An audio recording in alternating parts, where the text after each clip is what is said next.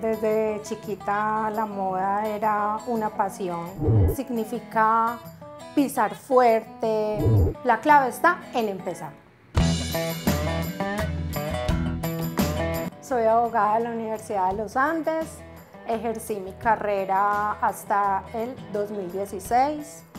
Cuando comencé con mi marca, mm, primero iba a ser como un ensayis, eh, pues era, quería hacer como las dos cosas, alternando, y la marca creció súper rápido.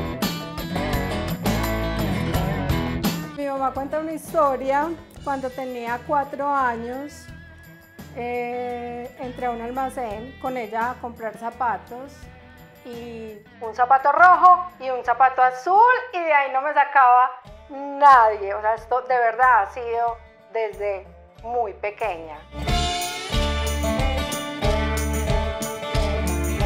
Hace muchos años tenía la idea, pero obviamente pues no sabía el tema, Em, es difícil entrar en el, en el, gremio.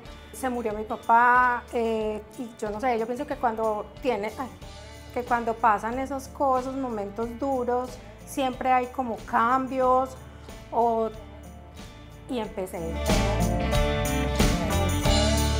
Cuando comienzas, estás solo, eres todero, te toca trabajar de sol a sol, siete días a la semana, eres creativa, eh, manejas tus redes, no, es que es absolutamente todo. Yo empecé con zapatos, tenis, fui como ensayando y terminé con botas. Es definitivamente lo que más me gusta.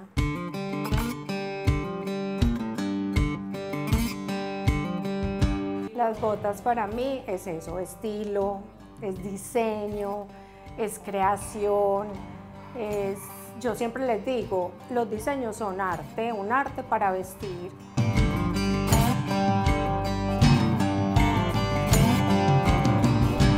Hay botas clásicas, hay botines, botas texanas. Yo me he especializado mucho en botas texanas.